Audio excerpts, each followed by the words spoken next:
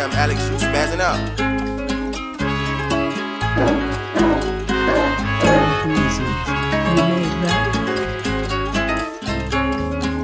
It's Fresh 808 Gang.